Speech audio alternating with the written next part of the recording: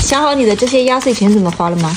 这样子的，你不知道现在的物价是多少，你来安排事情，妈妈来告诉你物价，行不行？嗯嗯。第一天，我们是不是要开车去看一场电影？嗯，但是开车要什么？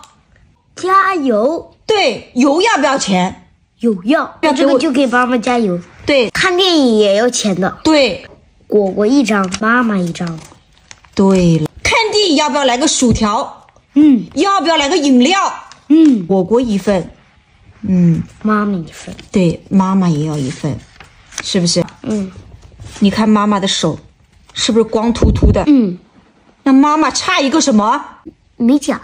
对，要做一个美甲。人家妈妈都做美甲了，只有徐果果的妈妈没有做美甲。嗯，妈妈会不会难受？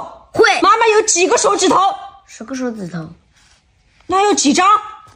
十张，四五，不够了，只能做一只手啊。对呀、妈妈妈就先委屈一下，就先做半只。妈想请问一下，这些压岁钱分配的合不合理？合理。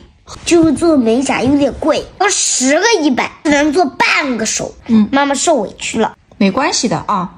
又是美好的一天。